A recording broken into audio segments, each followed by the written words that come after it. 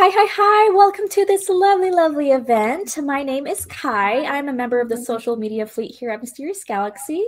And today we are celebrating the release of Nicola Griffith's book, Spear. Look at this awesome cover. So amazing. So, Nicola Griffith is the founder and co host of CripLit and is the author of seven award winning novels, including Hild and Ammonite.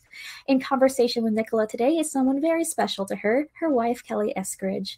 Kelley is a New York Times notable novelist, short story writer, and a screenwriter with an award winning short fiction collected in Dangerous Space. An exciting reminder that the book and signed book plates are available through the Mysterious Galaxy website. And thank you, Nicola, for doing that. You can find the link for that in the shiny green box below that reads Buy Spear and signed book plates here. Always remember that your purchase of books through Mysterious Galaxy helps us as an indie bookstore to keep doing wonderful events such as this. And lastly, Nicola and Kelley will be doing an audience Q&A around the 30-minute mark, so be sure to submit all of your questions to the Ask a Question tab below. And so I know you're not here to watch me talk, so I'm going to disappear in just a moment. Without, a, without further ado, let's give a warm welcome to Nicola and Kelley. Hi, everybody. Hi. Excuse me while I fuss just for a minute. I'm getting some oh. terrible echoes, so I've just switched to these and I'm still getting the echo. So I'm not mm, okay. entirely sure. You sound good from this end, and um, it's great to see everybody in the chat. So if you're having any trouble hearing or experiencing any kind of sound bounce from Nicola, please do drop a comment in the chat so that we can do our best to uh, to do technical things at the same time that we're talking. We'll see how that goes. I think it's just me that's bouncing. It's weird. Okay. All right. Can you cope? Will you be all right? Um, no, I'm not sure I can. Uh, okay. Seriously, it's driving me crazy. Mm-hmm. How would you feel about taking your um, AirPods out and just working with the uh, speakers? You're on mute now.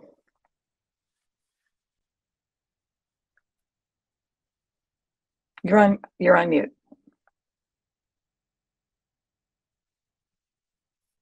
You're on mute. Folks, if you'll excuse me for just a moment, I'm going to step into the other room and see if I can help. I'll be right back.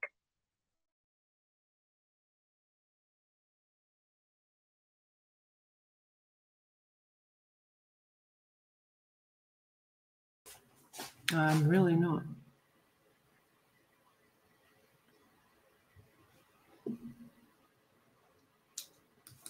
How about earbuds? That's what I was doing. Go for it again. We'll see how it goes.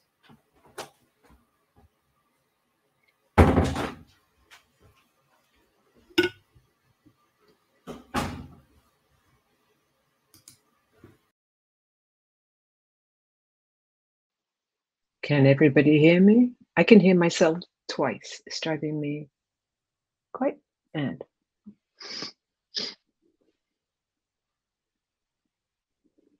all right, well, how about if we soldier on? And if it really gets to be too wacky, then um, perhaps I can bring you some wired earbuds and maybe that will be better. I don't think that's it. And I'm not sure what okay. it is though. All right. Anyway, we'll, let's get started and see how we go on. Thanks everybody for your patience. We really appreciate it. Um, these these days of virtual events and hybrid events. Kai and I were just talking about how wonderful it is. It's so inclusive. We can all gather together. And also there's always the the fun of technology. So thanks for rolling with us. And we'll go ahead and dive in. Um, it's really great to be here and to be able to talk with Nicola and talk with all of you about Spear. Um, I'm going to speak for both of us about how great it is uh, to be invited and thank you to Mysterious Galaxy for having us. Mysterious Galaxy is an amazing bookstore. And um, one of the things I would like to ask you to do is to please consider buying a book from Mysterious Galaxy and support this wonderful bookstore full of amazing people. It doesn't have to be anybody's book on this call, um, but please show your support if you can. And thanks again for being here. Nicola, is there anything that you would like to say uh, before we get started? No, just that I'm very happy to be here. Great. So, Nicola and I have known each other a long time. And for as long as I've known you, you've loved stories of Arthur and Camelot. And in all that time, you have expressed zero interest in ever writing one. I feel like the word never might have been used at some point. So I certainly was very surprised by this book. And I would love for you to talk about why now for an Arthur story and why this particular story. Let me see if I can do this while hearing myself three times. Um, yeah, I, I'm turning my sound off, except I'm not. I'm so sorry. I'm I'm having a really hard time concentrating. I, I tell you what, why don't um,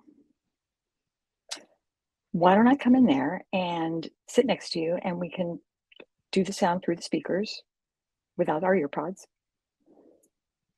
I'll try it that way. Okay. All right. All right. Sorry about this, people. Really, never happened before. Let me see if I can.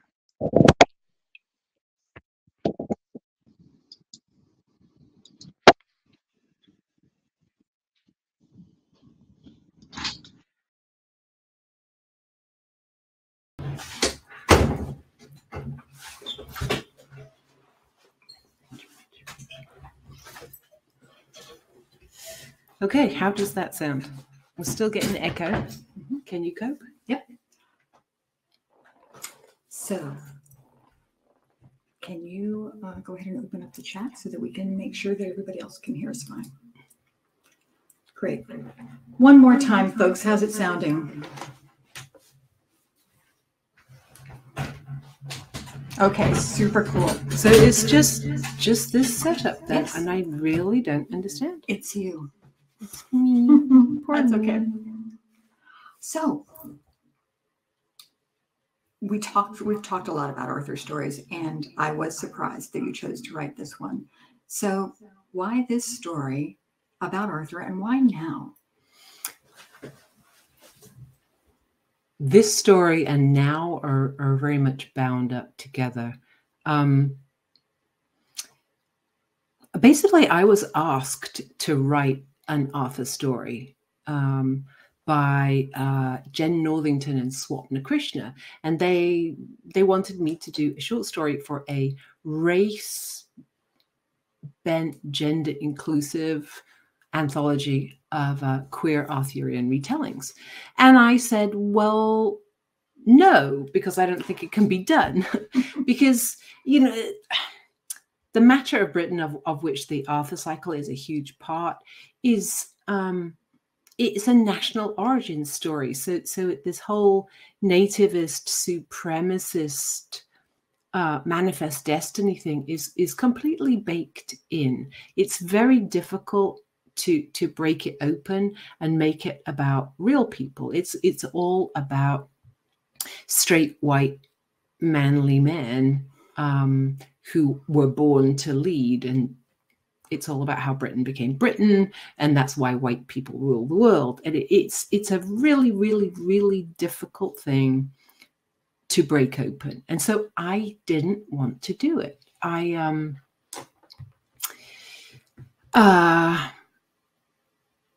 I said I said no, um, and then they asked again, and I was uh, going to say no again when into my head fell this this vision uh, of a, a person on horseback wearing really really tatty armor and carrying a red spear and it was a bony horse. So clearly this was a a not well off person.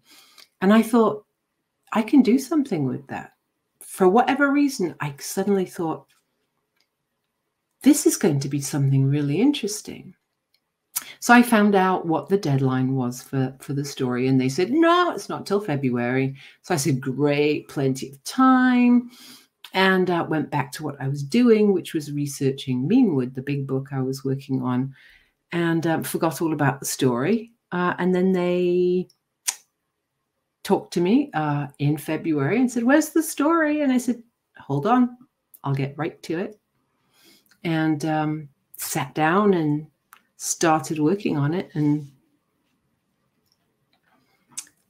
and then what happened?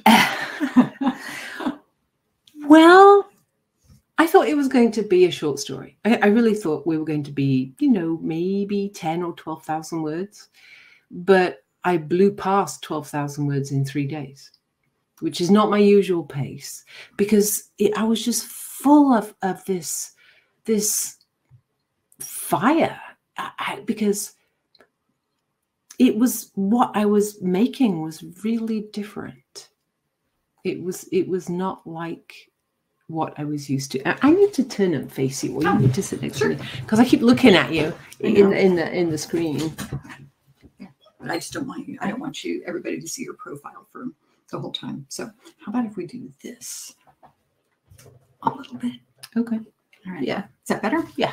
Okay. All right. So why was this different?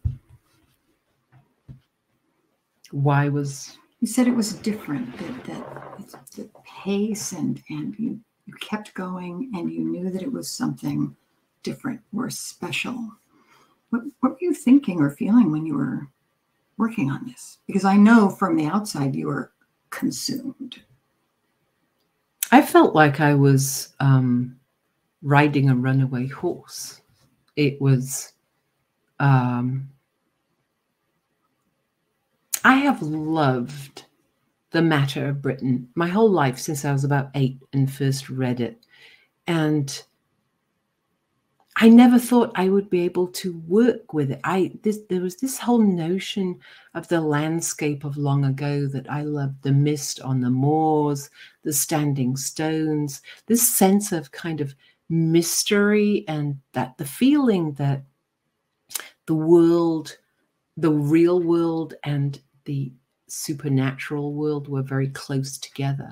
It, those those fictions always felt wonderful to me, and I really wanted to do that, but I had never really been able to. But as soon as I started working on this story, it happened. Suddenly, I was in this magical place, and and even the language was not like any language I've really used before. It was really kind of Celtic language. It was rhythmic and rippling and periphrastic, going back in on itself. And it just unfurled like a carpet. It was clearly I'd been thinking about this story on some level for a really long time. I just didn't know that that's what I'd been doing. I mm-hmm. mean, and so much old Arthurian stuff fell into my head while I was working. I was pulling in stuff from everywhere. I was pulling in, I mean, people call the matter of Britain a British myth, but really it's very English. It's, it's designed and built to serve English people in power. Um, and so one of the first things I did was deliberately bring in Welsh history and then Irish myth. And then I even threw in a couple of Picts. So we got some Scottish people in there. So it's just sort of opening the center a bit, broadening the center to make it actually British in this way. Because it really is a, a British story. But I wanted it to be a British story without doing that British supremacist thing without saying that you, have to basically have been born and played on the playing fields of Eton in order to be anybody. So there's lots of real people in my book, you know, people of color, queer people, disabled people, poor people, and so on. Mm-hmm. And Peretur is certainly not your typical Arthurian hero. That's true. So she, I want to talk about the idea of heroes a little bit later, but the first thing that we learn about Peretur right in the first paragraphs of the book is that she is a girl growing up nameless in the wild, which is like an actual phrase that has always stuck with me, um, having read it and having heard you read it. So I'm curious, why why did you make that choice? She she doesn't even have a name and she's out there alone with her mother. Hmm. I could probably make up a story about why, but the real truth is I have no idea. Um, it just happened because the story brain it, it's a bit of a, a black box. Um, I don't know why to start with, I, I wasn't really sure why she was nameless. Um, it became clear, obviously, mm-hmm. the, the, the I had a plot going on and I knew what I was supposed to be doing, but that first idea went into the back of my brain and then just started accreting things while I was doing other stuff. So when I pulled it out and looked at it, it it was much sturdier without my conscious effort. Um, so the naming thing is very much that's a very much part of the whole mythology and magic stuff, like naming calls.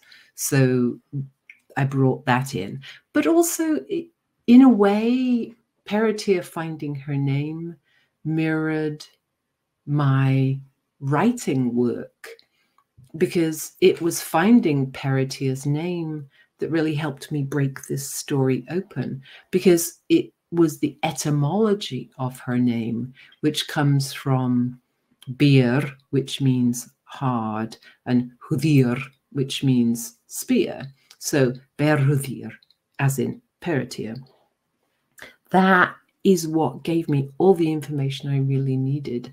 And as for why she grew up um, in a cave with her mother, away from everything, that is because um, that made Peretur an innocent, uh, naive in a particular way. So um, she wasn't, she didn't absorb all the cultural bias. She didn't realize that being a big, strong, poor woman who loved other women was anything odd at all. She she she wasn't she didn't talk to other people. The only only person she ever talked to until she met people connected with King Arthur was her mother. She didn't talk to a single other person. She talked to well actually that's not true. Mm-hmm. Actually the first person she talked to was a farm wife who thought she was a man and um, came onto her pretty hard, and Peretur freaked out and ran in the middle of the night, going, ah, no, don't know what to do because she was young. You know, she hadn't quite figured out life yet. she gets there, trust me. Um, but it made her. She didn't absorb any any uh, misogyny or homophobia. I'm not that they would have called it that then, but it, in our modern terms, she didn't internalize any bias. So she felt perfectly fine doing what absolutely came naturally to her. Um, so she was self confident and strong, and she was really free to be a hero, essentially. Which happens, of course, when she finally makes the choice to leave and she goes out on adventure and she goes out for particular reasons. Um, so, what one of the things that I really experienced reading the book is this sense that as she learns more about well a that other people are there and b how they operate and, and what their communities are like how they relate to each other there's this kind of inevitable pull in the story that starts to happen and the pace changes. Mm, and she's I, I had the feeling at the time that she was being drawn out into the world but of course she ultimately makes the choice to go out into the world. So why does she leave? She leaves because she has Peretur is um she's not like other girls in many ways and one of them is that she has a very particular gift which is that she learns things from nature. She learns to to smell things on the breeze and um, learn things from the feel of a leaf. She can read nature the way that we might read a book, and it will give her memories of what had passed there before or where something has come from. It's a it's it's a very particular gift. And we don't find out why she can do that until later in the book. So I'm not going to spoil anything for you.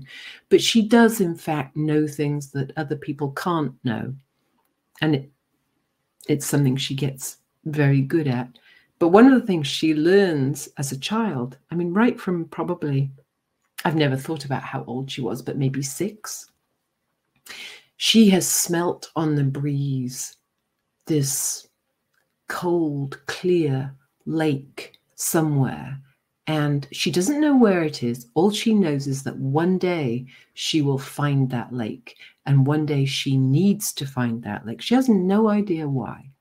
And so eventually, when she leaves, she leaves for two reasons. One is because she wants to find her name because her mother has not yet given her her name. And it's only literally as she's stepping out of the door, not that there is a door because it's a cave, but through the kind of little leather curtain. It's not until then that her mother gives her her name. Um, but really, she's going to go find this lake because she knows it has something to do with who she is and why she is. So yeah, that's that's mm-hmm. why she leaves to go find it. And she doesn't find it right away. No, she has adventures with the farm wives and, and other things. Yes, and other things. Yeah. yeah. So um, I know that you have a reading prepared and um, of something that happens once Peretur is out in the world. So I wonder if you would set that up for us and read. Sure. Okay. So um, I think I've already said that she learns, Peretur has learnt to hear in the rain and feel in the breeze mm-hmm. things, and that she's left, and that she has. What the thing I haven't actually talked about yet was that in one of her roams through her valley of Ystrad which is the Welsh valley where she grows up in the cave, she stumbles across this body.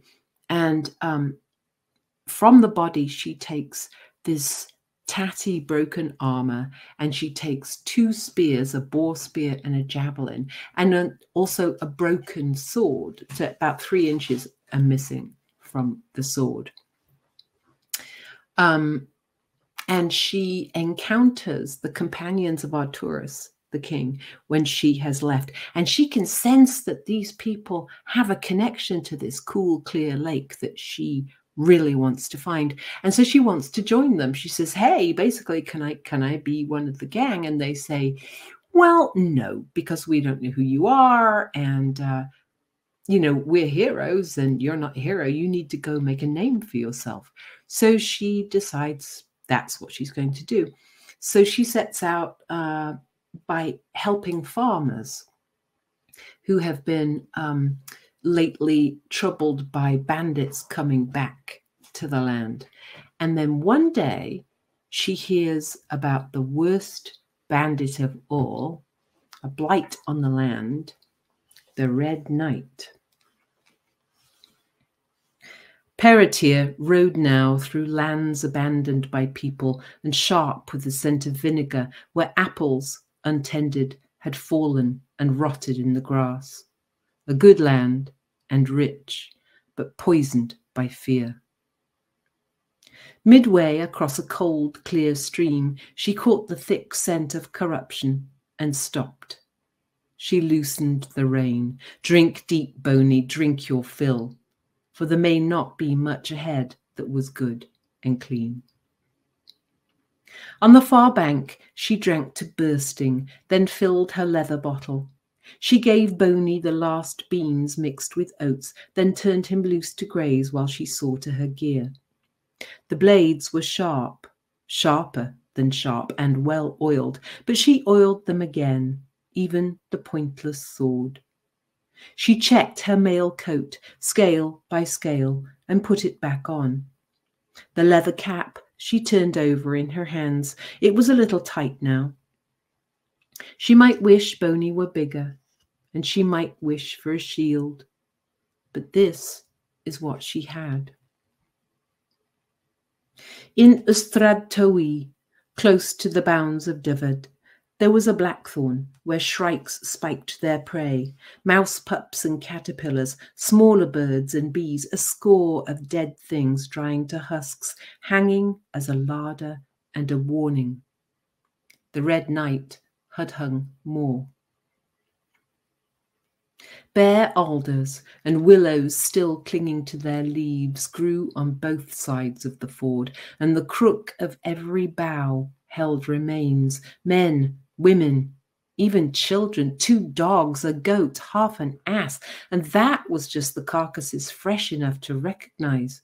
There were more, many more, that had rotted into strips of leather and old bone held together by a piece of armor, a boot, or a sleeve.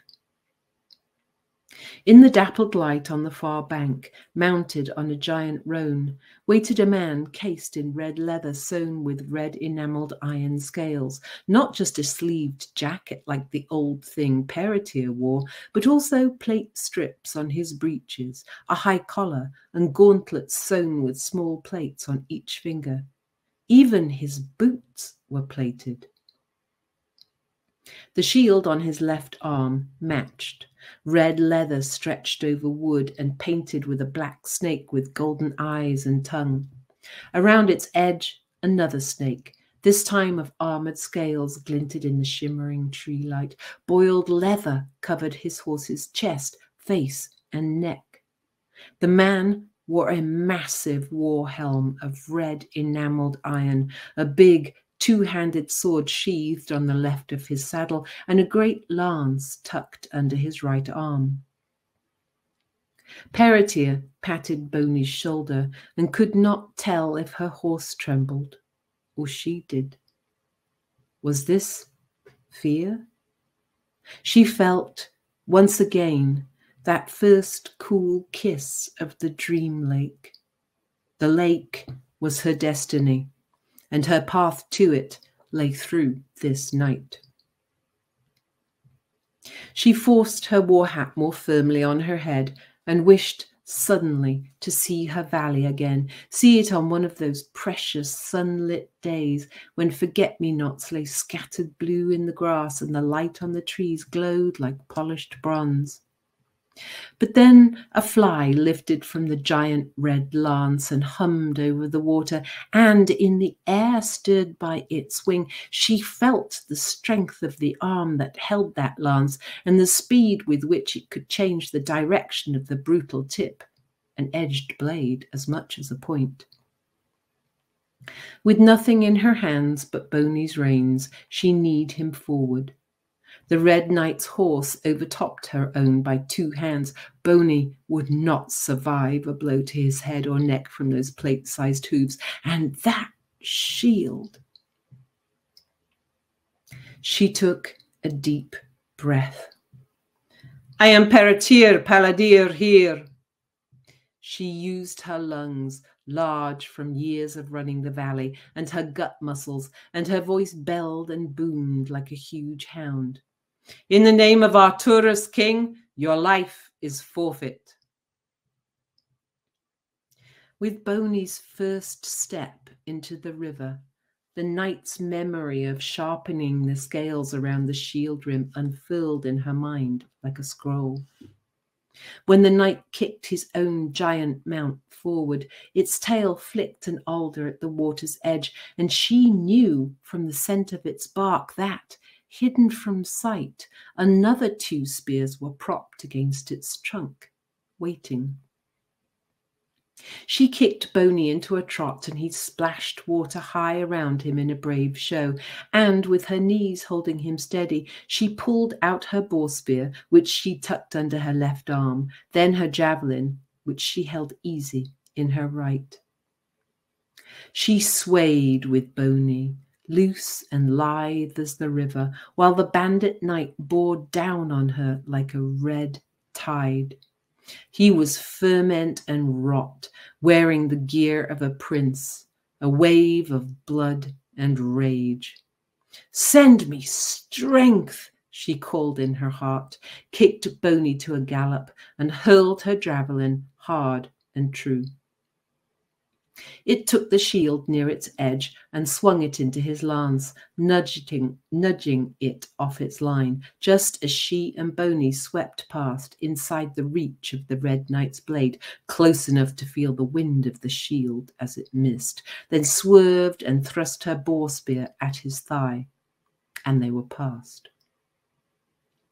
Both horses turned. Peretur wiped at her jaw. Blood dripping down her cheek. The red shield had not missed. She put it from her mind. The knight shook his shield, but the javelin had burst through leather and wood and was unmovable. He threw down the shield and kneed his mount into a tight turn. He was bigger. His mount was bigger. His lance was bigger, and he knew this river. She could not win. But as he came, Peretur felt through her palm the wood of her spear, from the wood the blade, and at the tip of the blade a taste of blood. Not much blood, for she had barely pricked him, but now she could feel his life, feel the red knight as she felt herself. Now his knowledge was her knowledge. She felt his belly tighten as he lifted his lance a fraction and knew he planned to lower the point and take Boney in the lung. She felt the movement of his eyes as he searched for and found the telltale runnel of water where a hidden tree root might trip the unwary.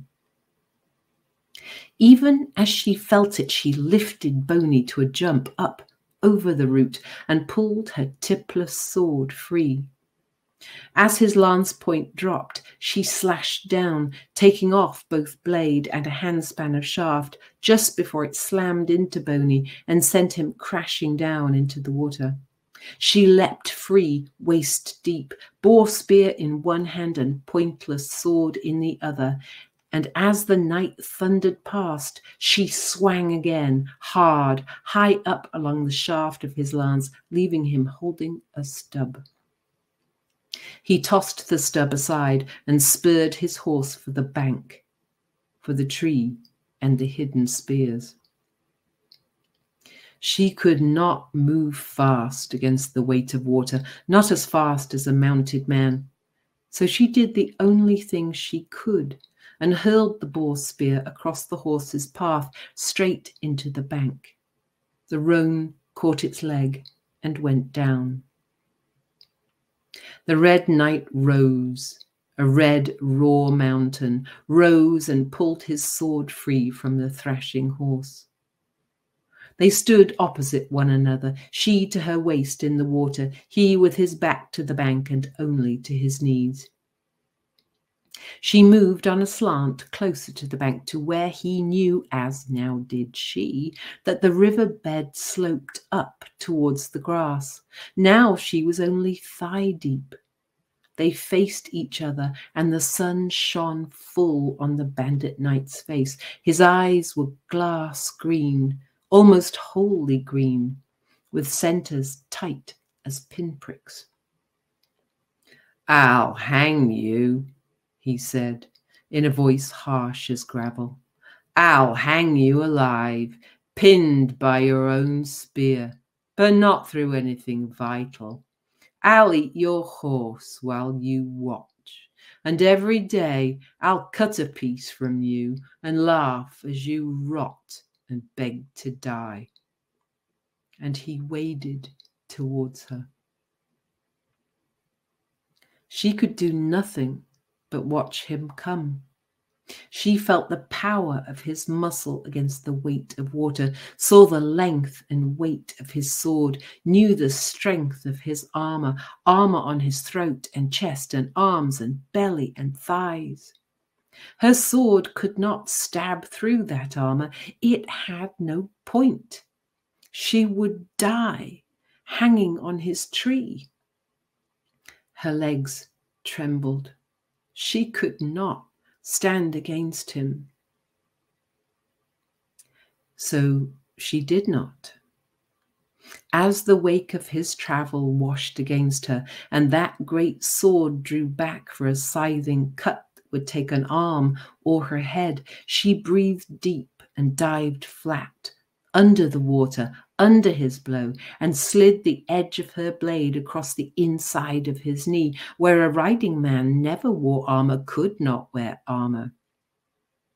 He stumbled to one knee, and she pulled her pointless but razor sharp, oh, sharper than sharp, sword back along the inside of the other knee, slicing it open deep to the bone. He fell sideways, and she pushed herself up, breathing hard, to one knee and one foot, the foot on his sword trapping his blade, and thrust her own pointless sword down against his chest, pushing him under. As she got her feet under her, she shifted and lifted her sword and thrust down again, this time on the plate across his throat. She leaned her whole weight on the flat tip of the blade, leaned and leaned, gasping, holding on while he thrashed, holding on even as the water turned red around him and he went still on, even as she sank exhausted to her knees. Still holding, still leaning, until Boney, limping, nosed the back of her neck, and she fell against him, weeping, the blood running down her face, mingling with blood from the ragged tear on Boney's chest, and running with the river away.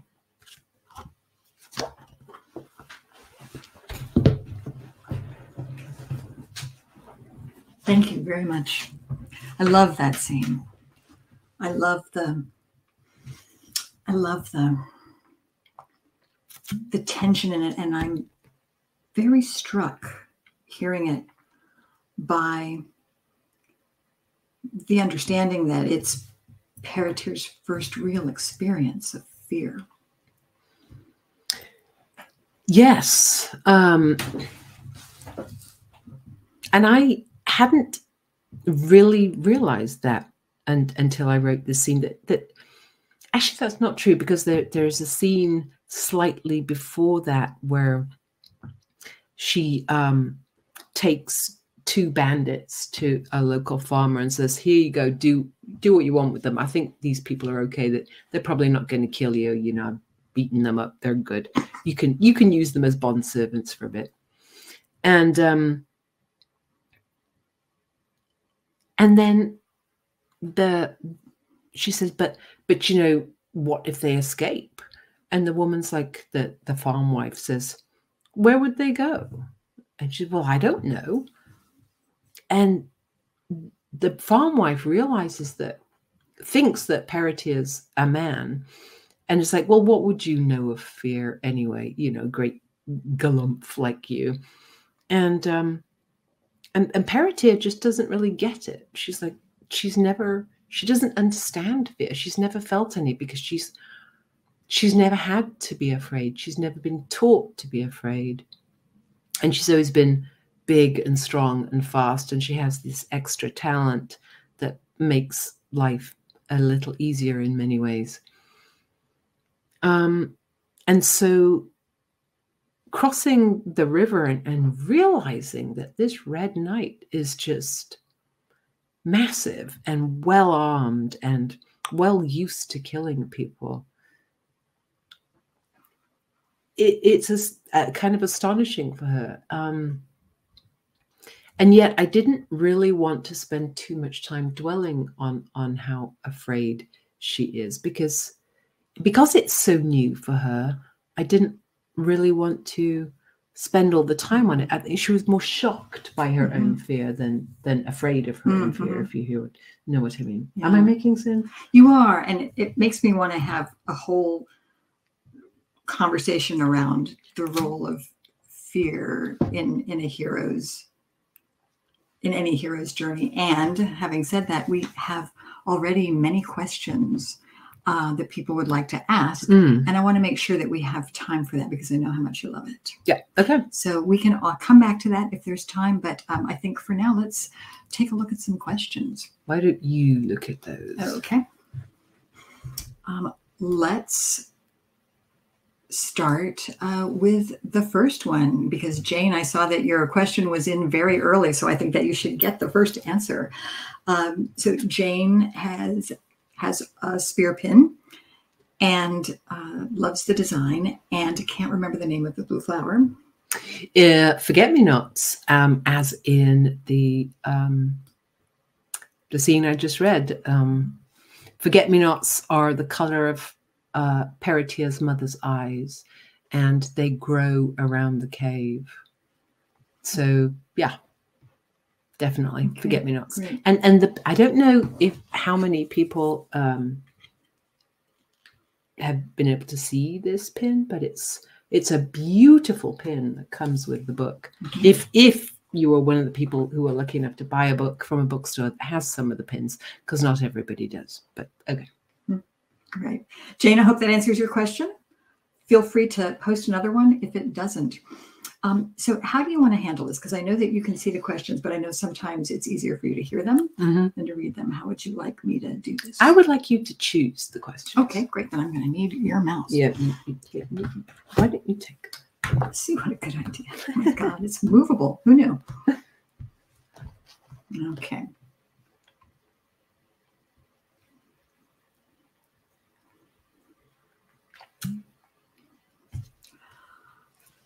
I would love to um, then ask you about, because I would love to know the answer to this as well, Emily.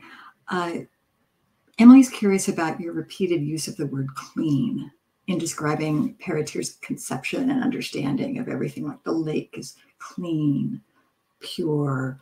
Um, I'm putting words in Emily's mouth right there. Um, but in describing Peretur's conception and understanding of everything connected to the lake and Arcturus, the word clean does come up a lot. Can you talk about a little bit about what clean might have meant to her? Wow, that's a very interesting question. Mm. Um,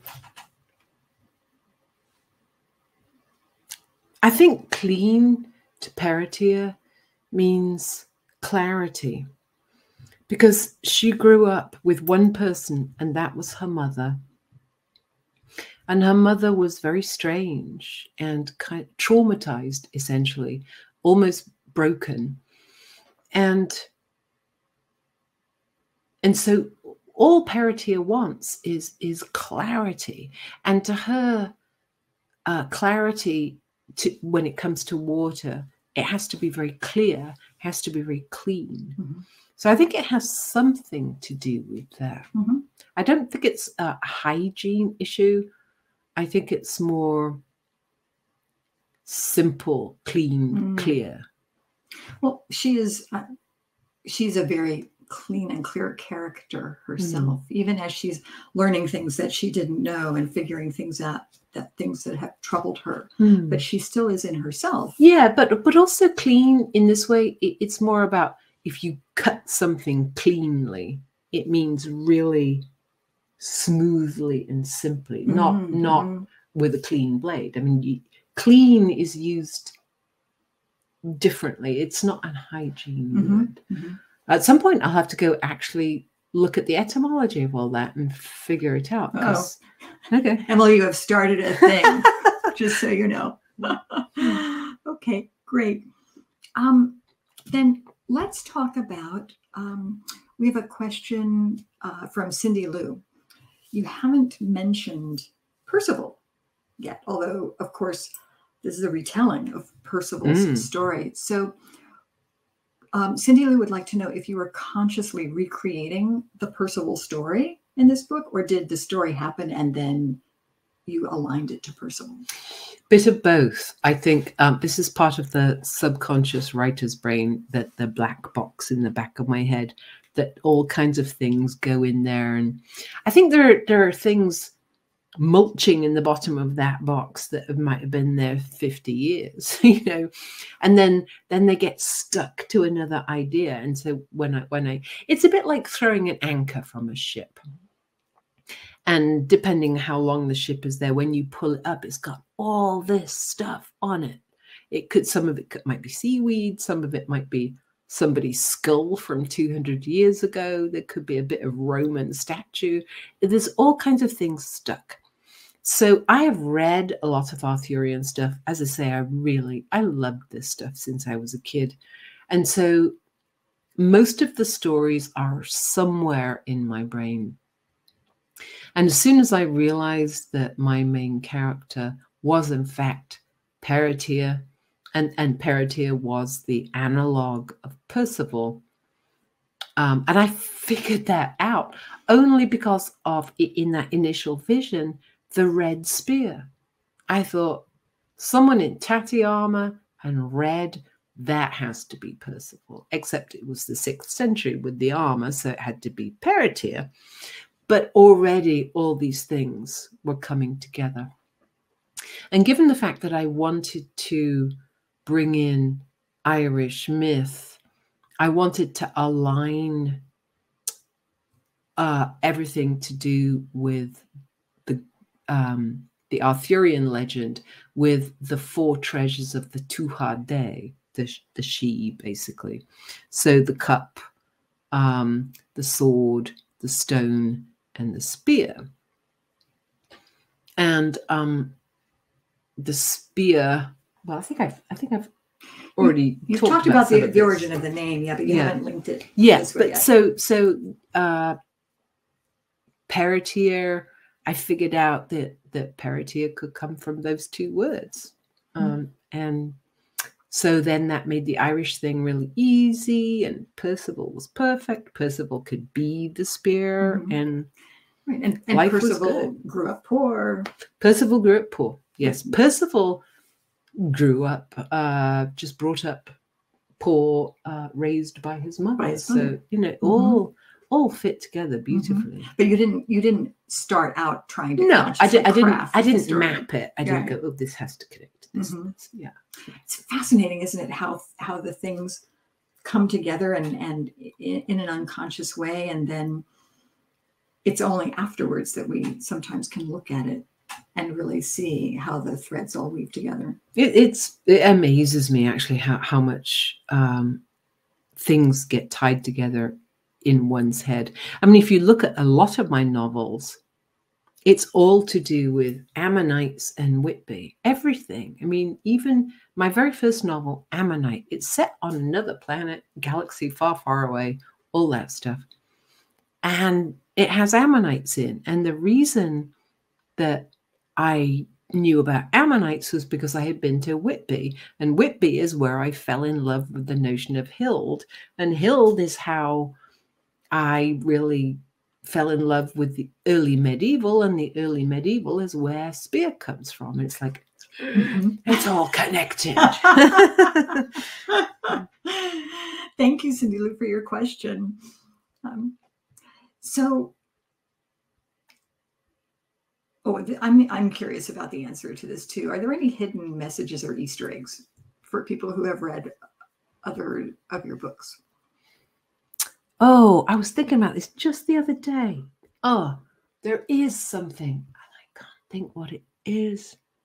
Ooh, a new discovery for you. Mm. You'll have to read I, it I will. I will. Yes, I will have to. Go I will have to go read my own book.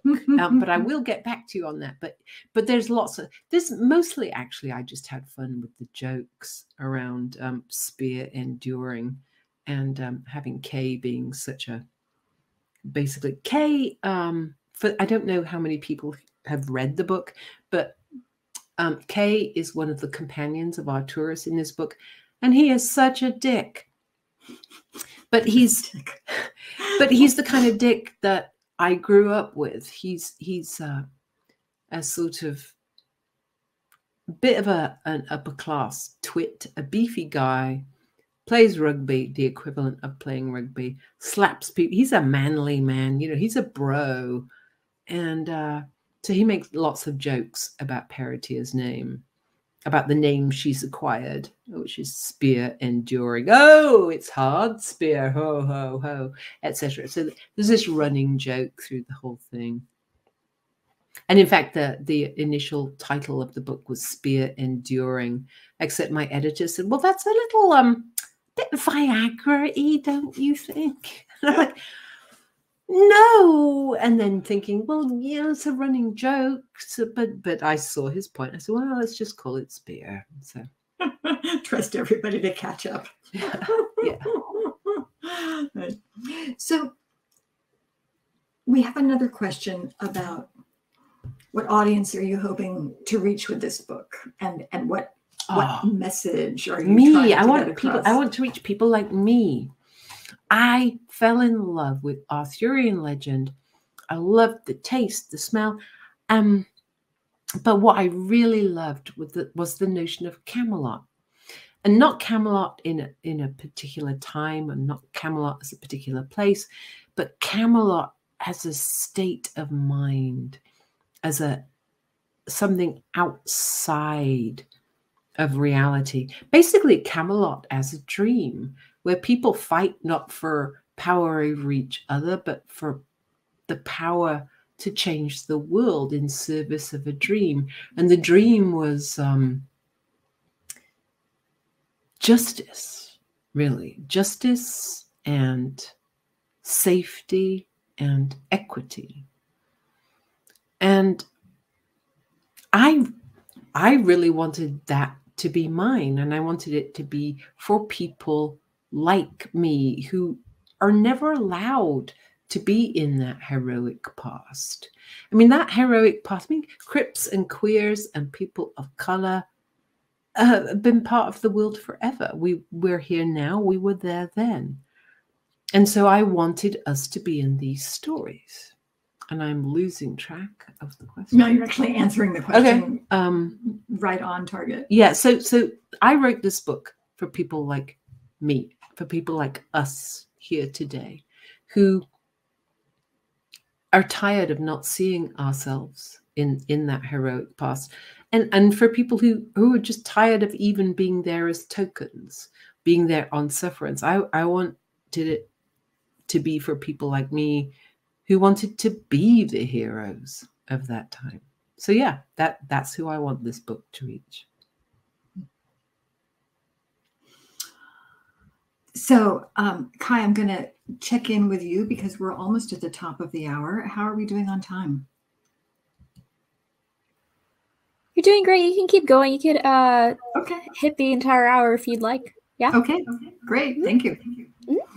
All right. Um, so Emily has discovered the uh, the Easter eggs, um, the carnelian, and uh, a pota- perhaps a stealth ammonite. So thank you, Emily. Yay. Let's take um, Carrie. I hope I'm pronouncing your name correctly. Uh, Carrie's question about the four treasures. Um, is there a parallel with the modern card deck? Which is not a question I ever would have thought to ask. Well, you know, I expect there is because but I had never thought about it before. I don't really play cards much. I don't think about them. Um uh I, I've actually spent probably more time with the tarot deck than uh ordinary cards. So actually interesting. I wonder if the wand is really a spear. Hmm. Yep, that's Huh. worth thinking about. So, so, so, Carrie, you have also started something because now I can I can see your research wheels turning. So, Yeah. Um, so the four treasures, I actually have no idea. I'm sure there's scholarship about this somewhere, but I personally have no clue. it's a great question. Thank you. So, um, hi, Kathy. It's nice to to see you virtually. Um, and Kathy's interested in the. Um, uh, if you're going by Kathleen these days, I apologize. Um, I'm. She's interested in the idea that uh, about the role of fear in the hero's journey that we were talking about a little earlier before we Mhm. started taking Mhm. questions. Um, Peretur is a hero, but she is a hero not in the Campbellian tradition. She's not a hero's journey kind of hero. Um, those heroes, I frankly don't have much time for those heroes. They they leave home because they have nothing, and so they're going to something better. They have this very linear journey. They head straight from here to their goal, and they just trample on people in it who get in their way. And they're all about winning, and their journey is very linear. Um, they don't actually ever have any fear, not that I recall. Really, they they're just like, oh, yep, I'm going to do that. I, I don't Mhm. ever. I think I feel like fear is in that kind of a journey is more of a, a modern construction, but certainly the the the epic tales. Yeah, I mean the old, old school heroic tales. That you know, It's more about it's more about overcoming the externals, the monsters. it's about killing the monster. I mean, the monster is the fear, I Mhm, mhm. suppose. Um, that the the monster is the the externalized fear. Um, and Peretur just had no clue of the fear. Do you think But uh, hold on a second, I'm having more thoughts, Oh. more things. more things? Um, but I do think it's a function of the modern novel, which is very much about the internal feelings of the protagonist as opposed to just looking at the hero externally. Mhm. So, yeah, the hero's journey has changed, I would say. Good. Well, we are nearly out of time, so I think that is probably uh, a good place to leave us. Thank you all so much.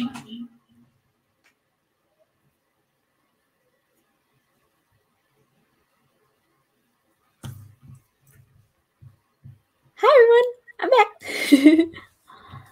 Thank you to the both of you for this lovely, lovely event. I loved the reading so much.